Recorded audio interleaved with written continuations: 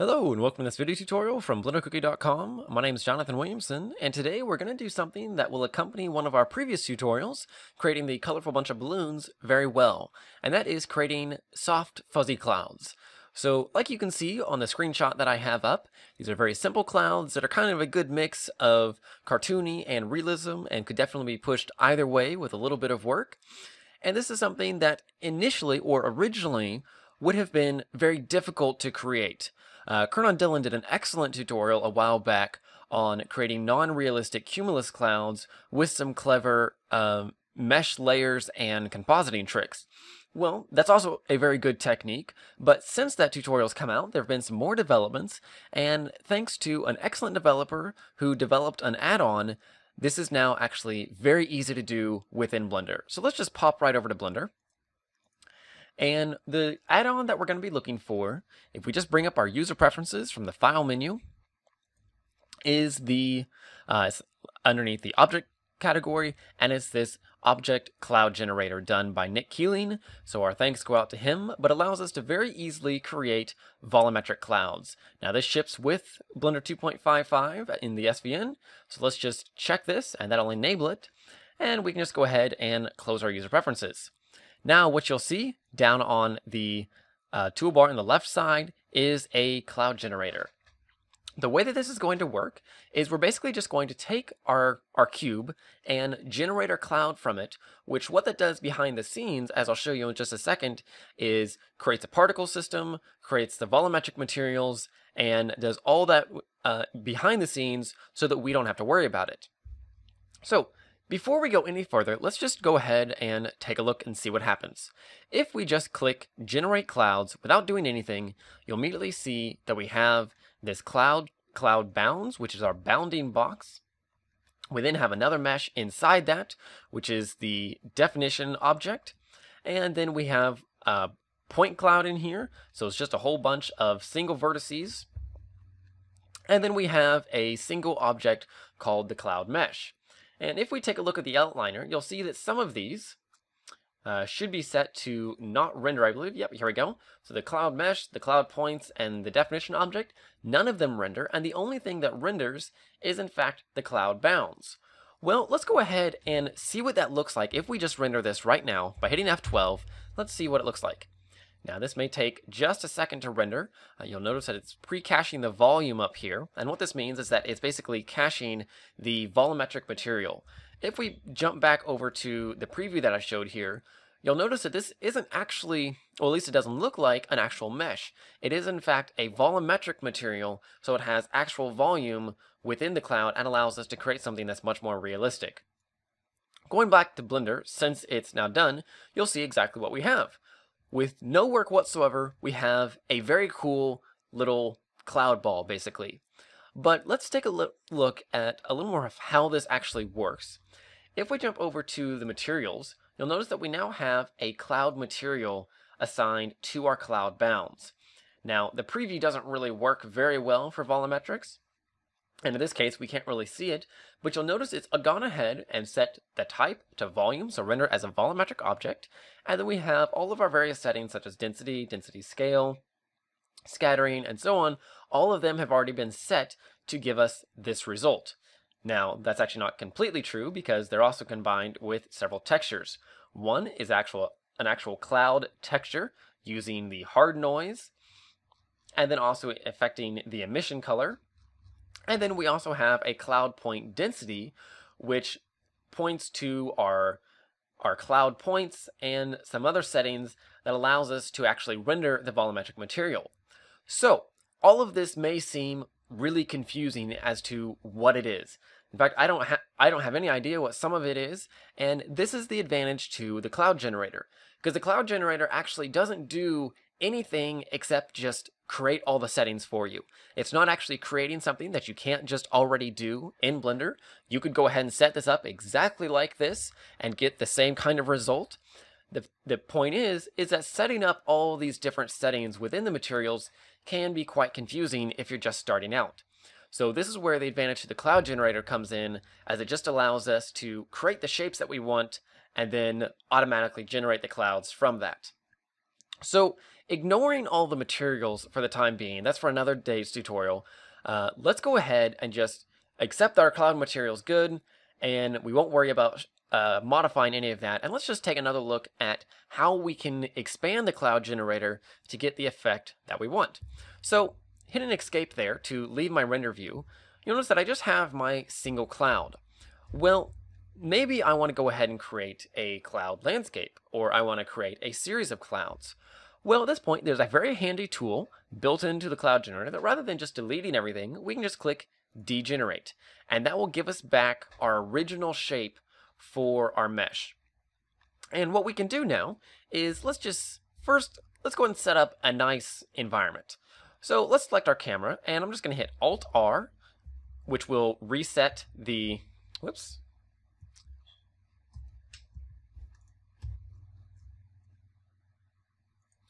Okay, uh, it would seem that I had a conflict with another application that I had running, but what I was attempting to do was just hit Alt R and Alt G which will reset the rotation of the camera and reset the location to bring it right back to the origin point facing straight down.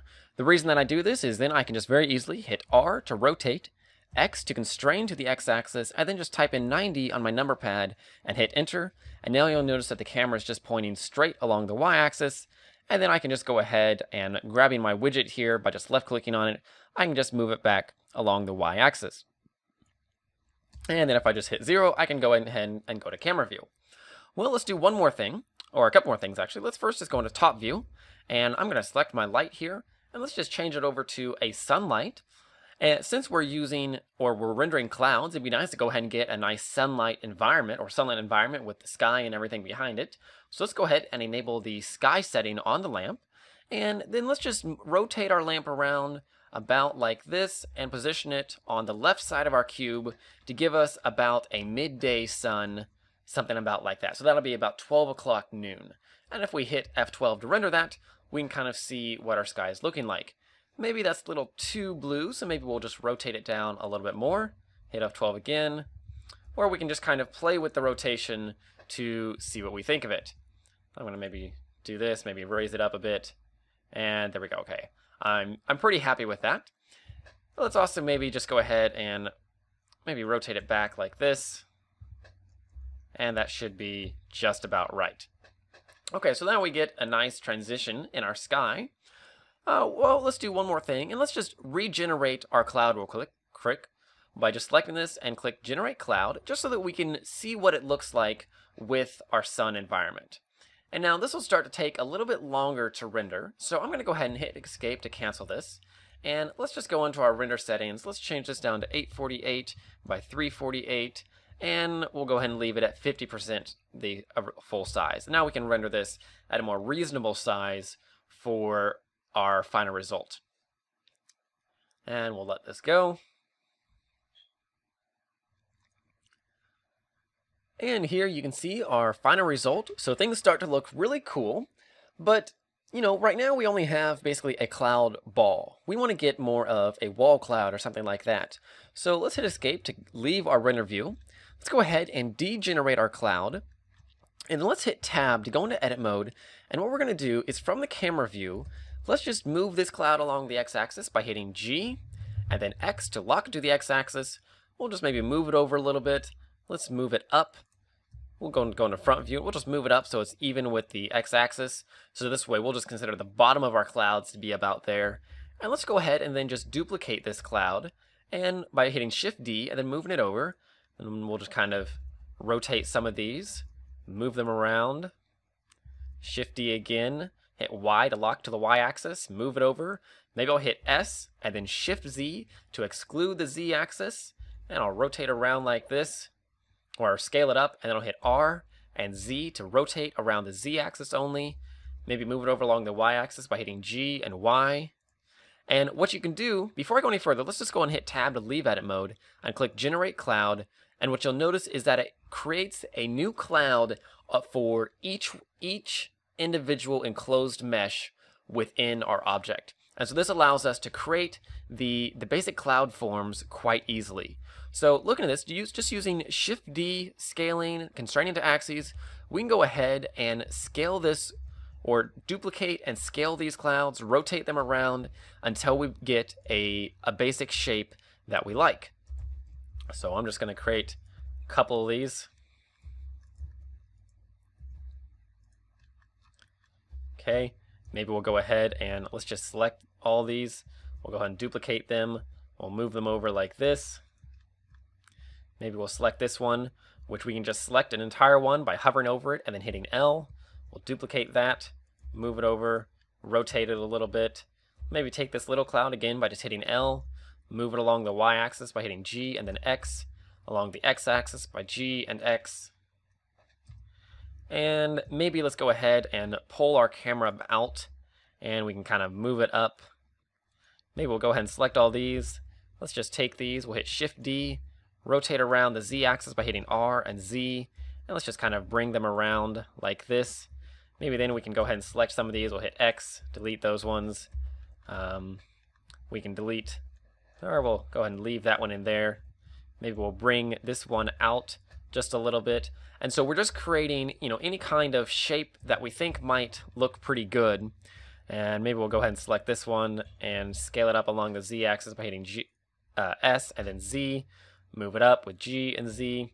And let's go and select this now in object mode and just click generate cloud and see how this looks. If we hit F12, we can go ahead and render that. And having hit generate cloud, it applies all the materials, uh, does all the work for us. And we can start to see kind of what we get. We get all these really nice kind of cloud shapes based on our actual meshes. So using the mesh, we can kind of generate the shapes that we want. And looking at this, maybe we want to, let's just go in, let's, we want to select the major bounding box, click degenerate, and then we can go in here. Maybe we'll select, say, these three. Let's maybe go ahead and scale them up. But we want to exclude the z-axis, so we'll hit Shift-Z, scale them up like this. Maybe then we'll hover over this one, move it over, grab the little one here, move it over, and we can really just start to kind of create the basic shapes that we want. I'll select that one, Shift D to duplicate it, bring it down. Maybe we'll select our camera and we can go and hit period to rotate around the 3D cursor and then we'll just maybe rotate around maybe something like like this. Maybe we'll go ahead and rotate down. If we double tap R, we can go into trackball rotation where we can just rotate around like this. And we can just kind of rotate down until we get a nice angle that maybe we like. Something kind of like that as if we're looking up at the clouds almost. And then we can, let's maybe go into edit mode and let's just, using hit B to select, bring up our box select, let's just left click and drag over all of this while in wireframe mode, which again is Z. And we'll just pull those over along the x-axis, maybe about like that. Let's hit F12 to render these. Oh, and of course we forgot to actually um, select our or to actually generate our cloud, so we'll do that. And then we can hit F12 again to render.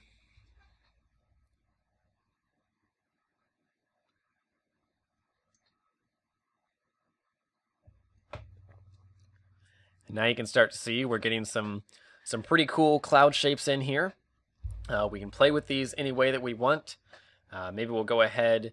This looks a little thick right in here. This one looks a little uh, wimpy right through there. So let's go ahead and degenerate this. And what we'll do is let's just, first we'll select this entire form. We're going to hit Shift D, take it up along the Z axis. We'll hit comma to rotate around the individual center, then hit R and Z, rotate it around, move it over like this. Try and just add in another level to it. Maybe pull it back a little bit along the Y axis to add a bit more depth. Um, this looks, let's go ahead and bring these ones down a little. So I'll just select these. I'm going to hit period to scale towards the cursor. This way we can just flatten them out and we'll hit S and Z. Bring those down. Let's select this one. We'll give it a little more depth. So again, that's just S and Z to scale along the Z axis. We'll maybe do the same thing with these ones here, just so we can see them through there. We'll take this one and maybe we'll just go ahead and bring it over like this. Maybe scale down. And then let's go ahead and We'll just select all this. We're going to Shift D, hit comma to rotate around the individual center, rotate it around like this. We're going to pull it back along the y-axis a good bit.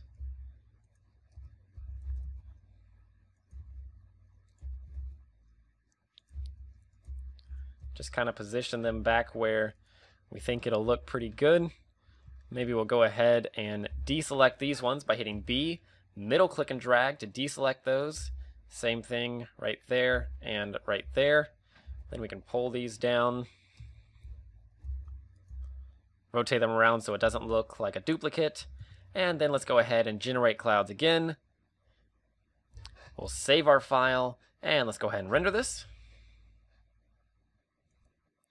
Okay, with our render done, we can start to see that maybe this is looking a bit, um, a bit like cotton balls right now. And so let's go ahead and hit escape. We'll go ahead and degenerate this. And let's do a couple things. First off, let's get rid of this little one here. We'll just delete that. And I think right now, one of the problems that we're facing is that we've got too many objects in here to make it look too solid. So let's just erase a few of these uh, that we have going in and out. We'll maybe bring some of them out along the individual axes more. Maybe pull that one back there. Um, I think we've just got too many objects that it's appearing a little bit too solid. So if we just start kind of removing some of these, we can start to get a little bit more uh, sparsity within our clouds. And maybe we'll just go ahead and get rid of these ones entirely. And the back ones really didn't work out very well, so we're going to go ahead and remove those as well. Um, and then let's select these, and we're just going to hit S and Shift Z, scale them up along the Z axis. Let's also maybe go ahead and bring our cursor back up just a little bit. Um, I just hit period, and I'm going to hit R and double tap X, which will rotate around the local X axis of the cursor. Allow me just to bring this up and go down through here and maybe about like that. And now let's go ahead and generate this again and see what it looks like. Okay, and now we'll render that. See if we get a little bit better result. And I think maybe we are.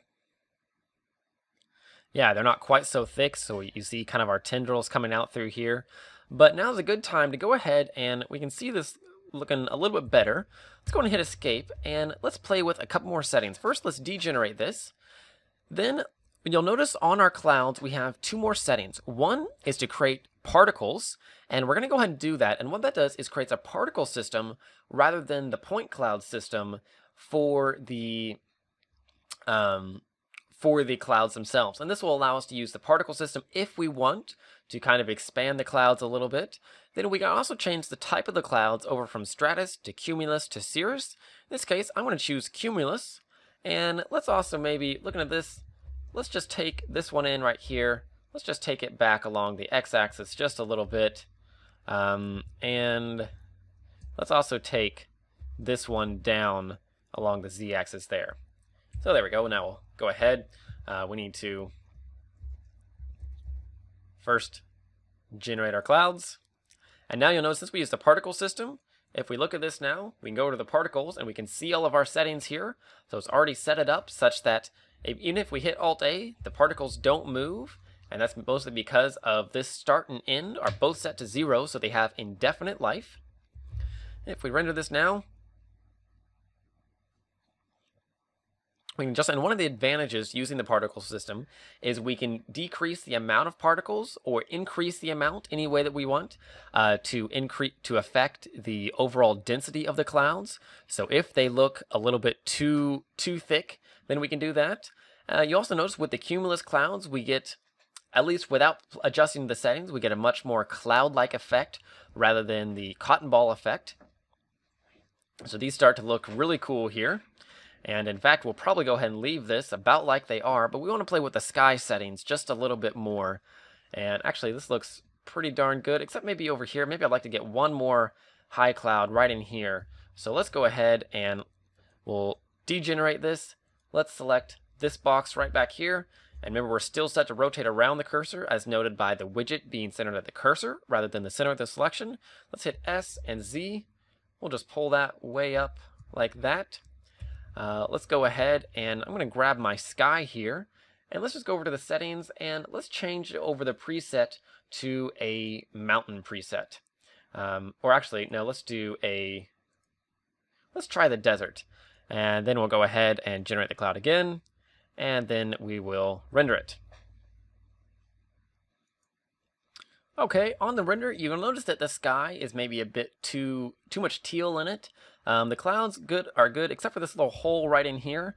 So we're going to degenerate one more time, and let's just select this one here, and we're just going to hit um, S and Z, scale up along the Z axis, and then let's left click and then hit comma to scale along the individual center, and then hit S and Shift Z to exclude the Z axis, and just bring that up, which will fill that hole nicely. Next, let's go ahead and grab the lamp and let's just go ahead and rotate it around just a little bit. We'll pull it down. And let's also change the type over to a classic. And I think that will give us a nicer blue in the sky. So we'll select this, we'll generate our clouds again, and then render one last time. And hopefully this looks pretty good. Okay, and as it's rendering here, we can see that maybe there's a little too much just solid blue. Maybe we would like a little bit more of a gradient. So I'm going to do one more thing, uh, and that is to go ahead and change the sky. Let's change it over to perhaps a desert setting.